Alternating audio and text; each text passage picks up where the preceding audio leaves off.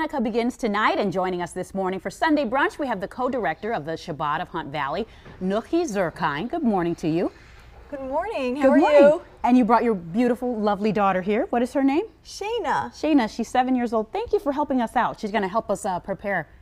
We are going to make the most amazing melt in your mouth chocolate gelt cookies. Oh wow! So this is a traditional Hanukkah uh, food, right? So these cookies are not traditional Hanukkah food, but gelt is. Ah, okay. So gelt is the what? The Gelt is a Yiddish word for money, and we have the custom on Hanukkah to give monetary gifts to our children after the lighting of the menorah in order to combat the Greek ideology and to teach our children that even the most mundane things such as money should be used for spirituality and the service of God. I love that. It's a great time to learn. This is so. This is the gelt here. These uh, cookies. So these are these- coins. yeah, we like to, you know, use chocolate coins Yeah. when we don't have real ones. So Okay. it's kind of fun and different.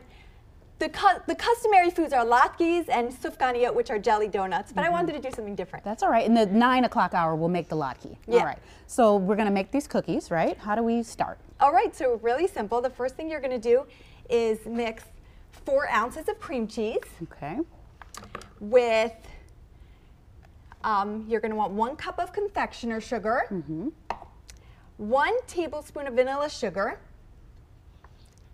and one one um, bar or a half a cup of melted butter. Okay. Okay. We're gonna. And we're going to cream those together. In the meantime, you can have your kids open the chocolate coins. Okay, and that's what our little one here is gonna do. Look Oh, at that. I'll be one of the kids. I'm So gonna you go have to melt those together. Lowell's gonna taste test here. Yeah. All right. So this is the batter. And then after those are creamed together, you're going to want to add one and a quarter cups of flour. Okay. And you're going to want to mix that together until you have a nice cookie batter.